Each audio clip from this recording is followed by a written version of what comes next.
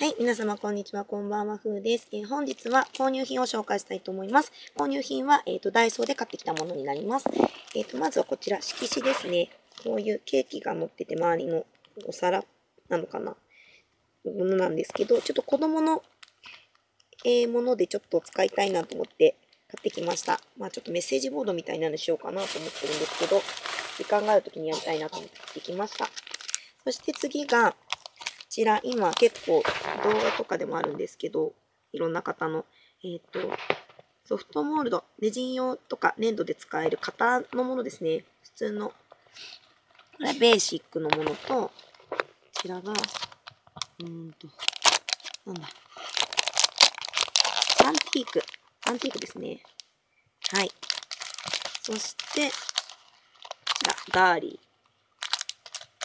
そして、えっ、と、スイーツ。フルーツスイーツですね。こちらは、えっと、スイーツデコでも使えるかなと思ったので、買ってきました。そ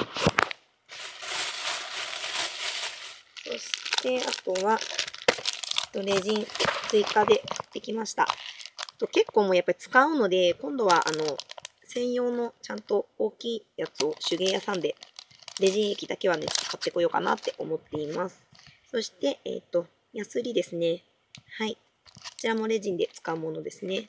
そして、こちら、えっと、メッセージカード、ハリネズミちゃんなんですけど、これは、えっと、今、と、ちょっと家の中を整理してたりして、ちょっとヤフオクさんとかメルカリさんとかに出しているものがあるので、えそちらでメッセージ使ったり、あとはちょっとお手紙書くときに使ったりしたいなと思ったので購入しました。